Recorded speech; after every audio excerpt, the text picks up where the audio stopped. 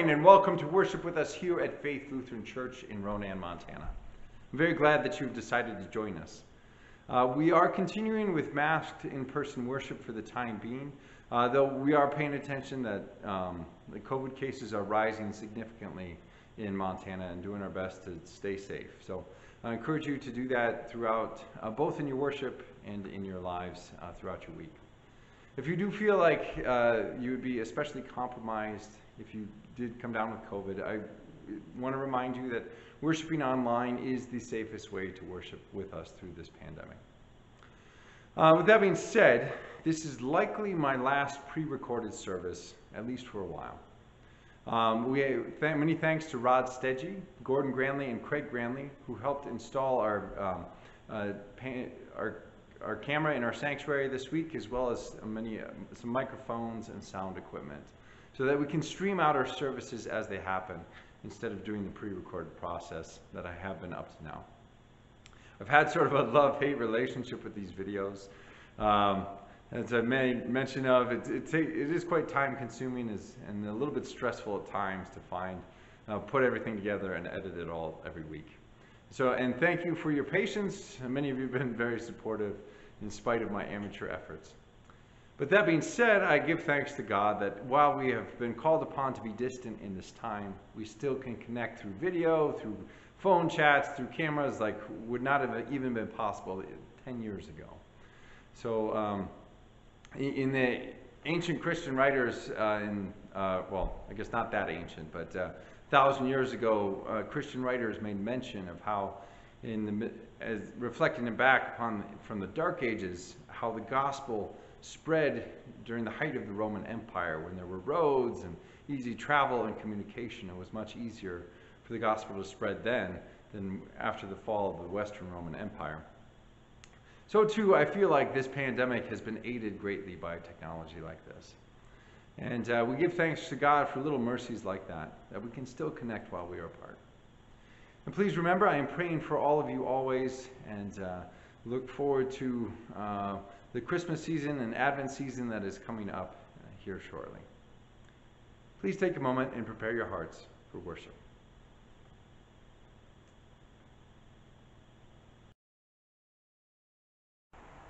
We begin our service in the name of the Father, and of the Son, and of the Holy Spirit. Amen.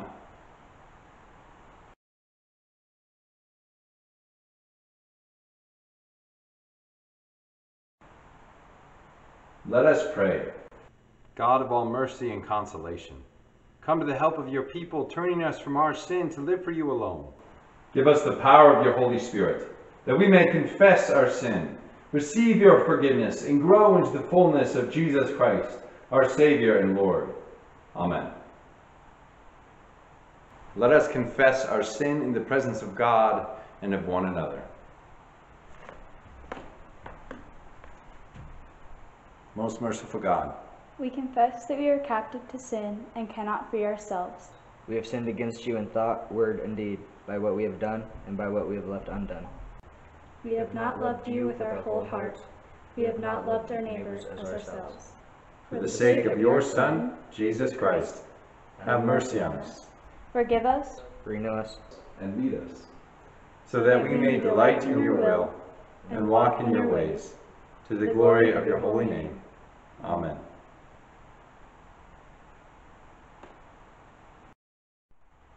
God, who is rich in mercy, loved us even when we were dead in sin, and made us alive together with Christ. By grace you have been saved. In the name of Jesus Christ, your sins are forgiven. Almighty God, strengthen you with power through the Holy Spirit, that Christ may live in your hearts through faith. Amen.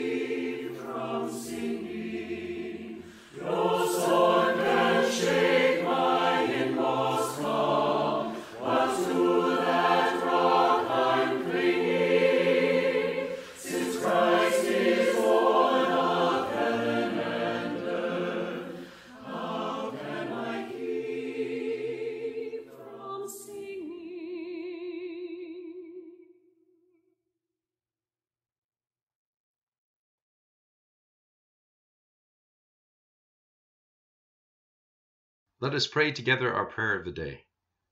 Righteous God, our merciful Master, you own the earth and all its peoples, and you give us all that we have. Inspire us to serve you with justice and wisdom, and prepare us for the joy of the day of your coming. Through Jesus Christ, our Savior and Lord. Amen.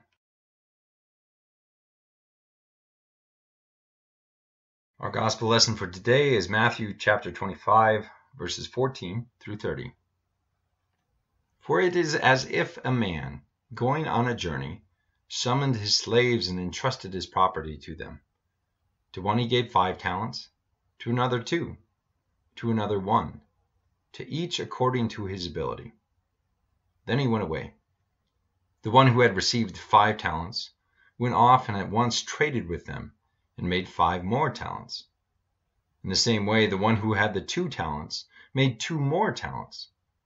But the one who had received the one talent went off and dug a hole in the ground and hid his master's money. After a long time, the master of those slaves came and settled accounts with them. Then the one who had received the five talents came forward, bringing five more talents, saying, Master, you handed over to me five talents. See, I have made five more talents. His master said to him, Well done, good and faithful slave. You have been trustworthy in a few things. I will put you in charge of many things. Enter into the joy of your master. And the one with the two talents also came forward, saying, Master, you handed over to me two talents. See, I have made two more talents. His master said to him, Well done, good and trustworthy slave. You have been trustworthy in a few things. I will put you in charge of many things. Enter into the joy of your master. Then the one who had received the one talent also came forward, saying, Master, I knew that you were a harsh man, reaping where you did not sow, and gathering where you did not scatter seed. So I was afraid, and I went and hid your talent in the ground. Here you have what is yours. But his master replied, You wicked and lazy slave! You knew, did you, that I reap where I did not sow, and gather where I did not scatter? Then you ought to have invested my money with the bankers, and on my return I would have received what was my own with interest. So take the talent from him, and give it to the one with the ten talents. For to all those who have, more will be given, and they will receive in abundance. But from those who have nothing, even what they have will be taken away. As for this worthless slave, throw him into the outer darkness, where there will be weeping and gnashing of teeth. Here ends our gospel lesson. Grace and peace to you from God our Father and our Lord and Savior, Jesus Christ. This joke was shared with uh, Harvard's Wharton School of Business. A man was walking along and, uh, in, in the country, on the, in the countryside, when he comes across a shepherd who has a huge flock of sheep. Now he tells the shepherd, I will bet you $100 against one of your sheep that I can tell the exact number that is in this flock. the shepherd thinks for it, thinks it over for a little bit. He's got a pretty big flock, so he says, "Okay." 973, the man replies. The shepherd is astonished because that is exactly right. He says, "Okay, I'm a man of my word. Take an animal." The man picks one up and begins to walk away. Wait, cries the shepherd. Let me have a chance to get even. Double or nothing. I can guess your exact occupation. Man says, Sure. You are, an, you are an economist who works for a government think tank, says the shepherd. Amazing, responds the man. You are exactly right. But tell me, how did you deduce that? Well, the shepherd said, Put down my dog and I will tell you.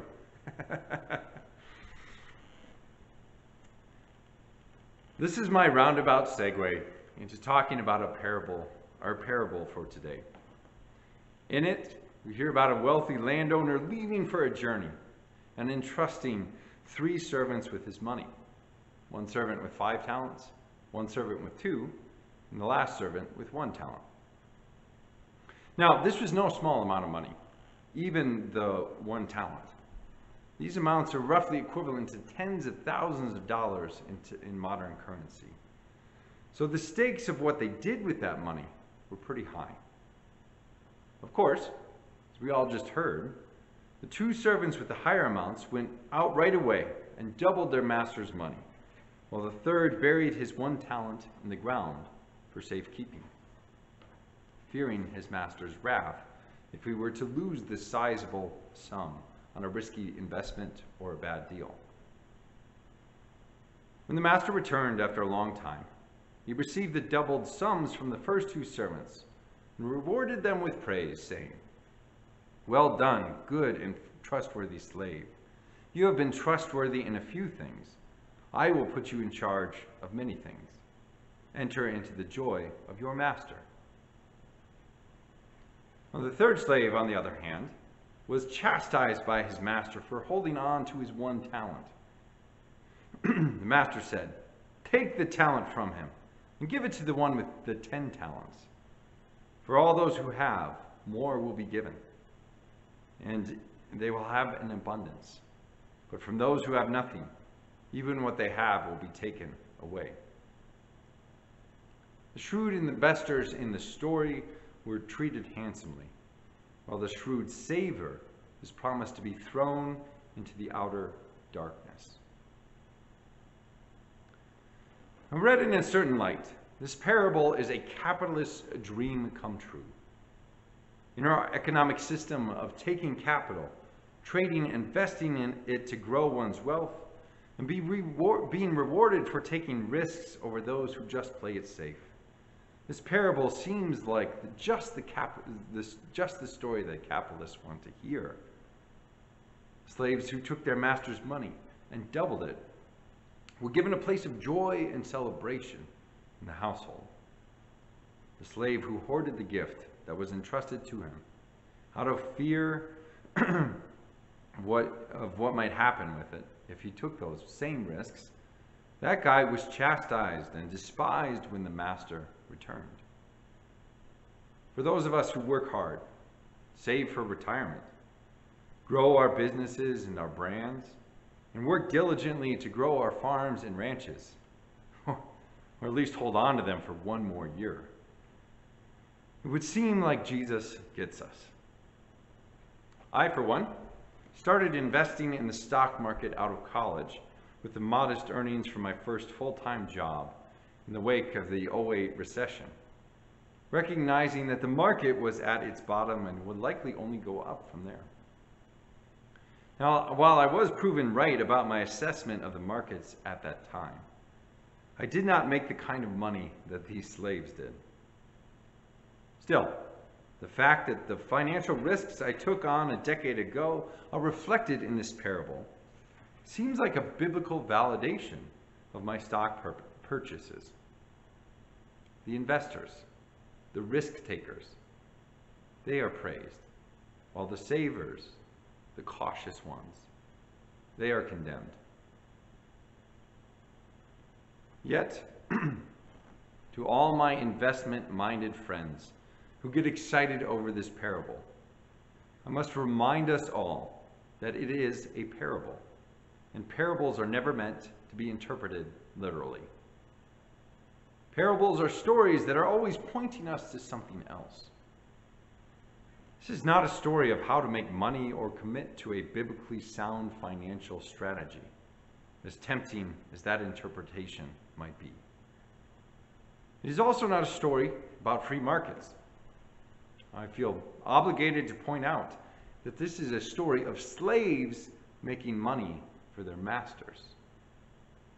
In modern economic language, is much more akin to communist authoritarian regimes than individualistic free market systems. So, we can all rest at ease that this is not meant to be read literally. We don't literally need to become slaves, right? No. This story is about the gift of the gospel being entrusted to the disciples and how they were to think about that gift when the master went away. The good news of their salvation was given to them so that they might share it with others in, the, in abundantly generous ways.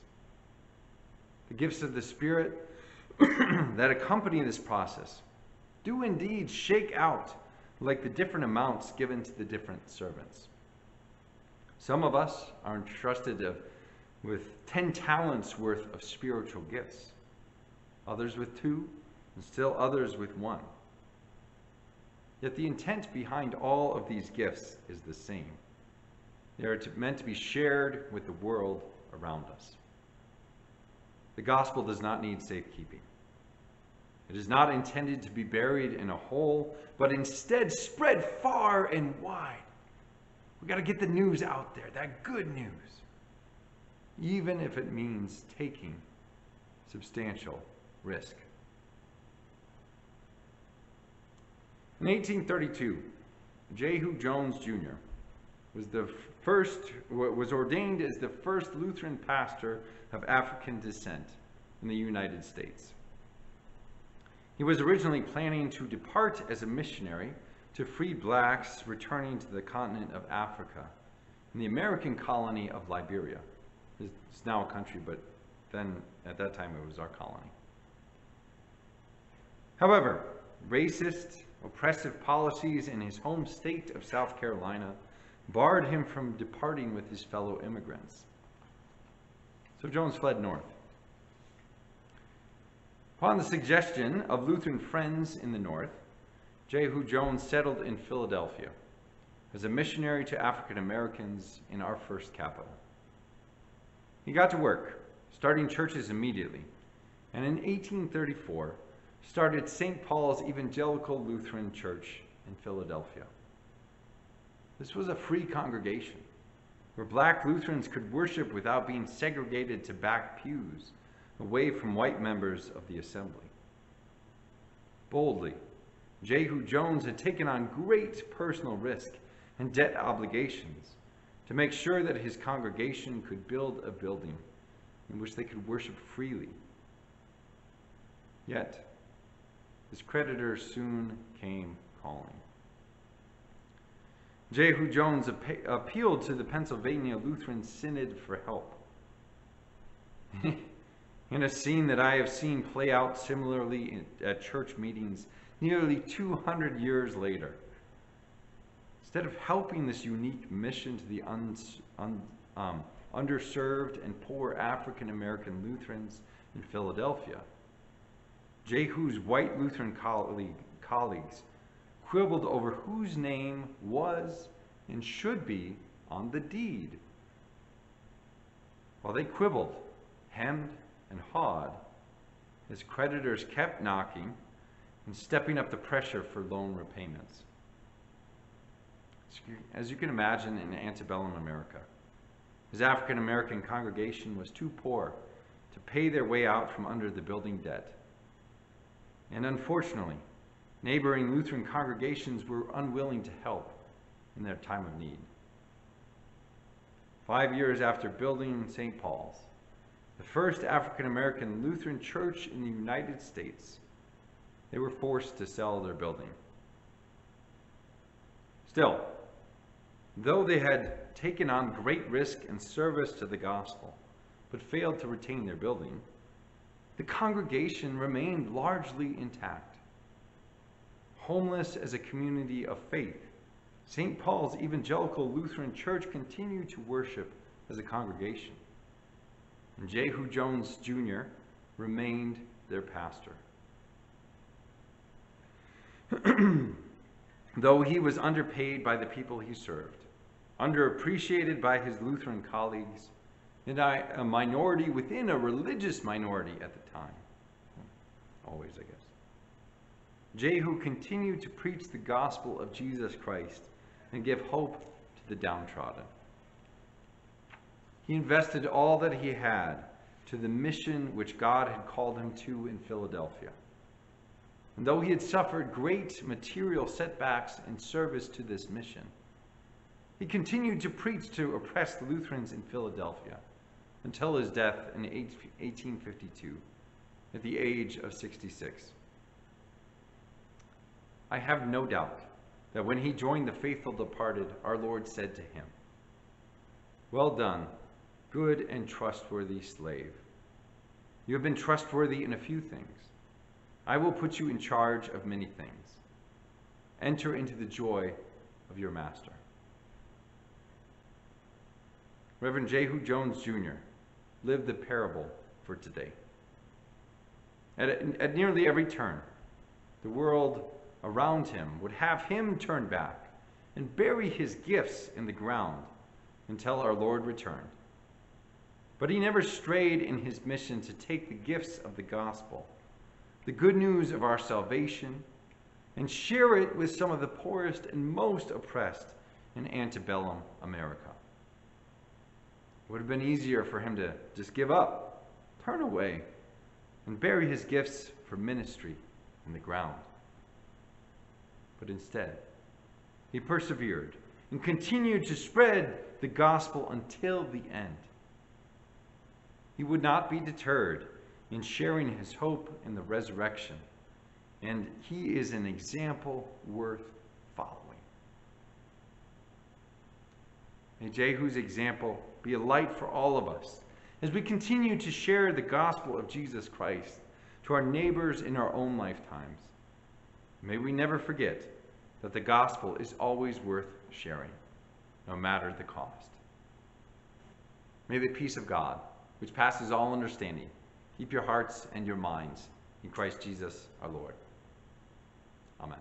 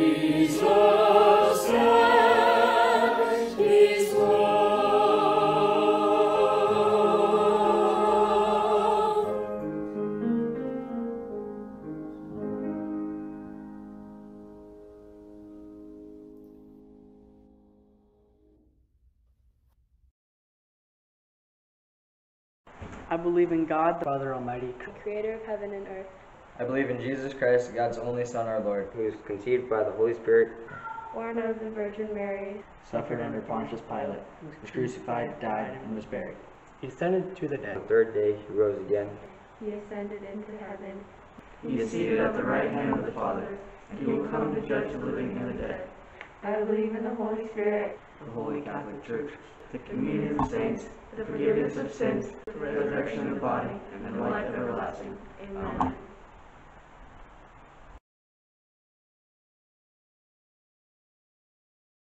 Gathered into one by the Holy Spirit, let us pray as Jesus taught us. Our Father, who art in heaven, hallowed be thy name.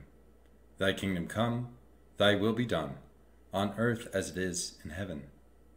Give us this day our daily bread, and forgive us our trespasses, as we forgive those who trespass against us. And lead us not into temptation, but deliver us from evil. For thine is the kingdom, and the power, and the glory forever and ever. Amen.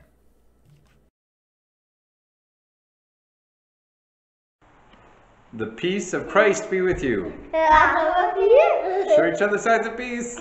Ah.